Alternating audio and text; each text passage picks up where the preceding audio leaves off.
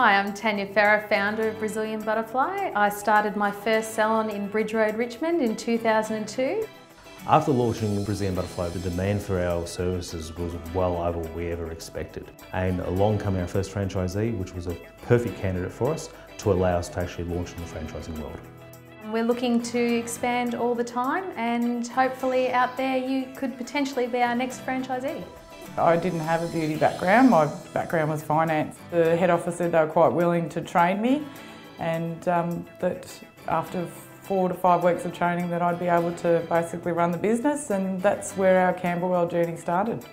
Brazilian Butterfly is definitely no different to any other business. The more you put into it, the more you get out of it. Brazilian Butterfly has remained a strong brand and icon in the Australian beauty industry for a number of years now um, by sticking to its core beliefs. Um, we're only interested in doing what we do and doing it well. We have our own product range which we try to keep things as Brazilian Butterfly as we possibly can and I believe that's what makes us different in the marketplace.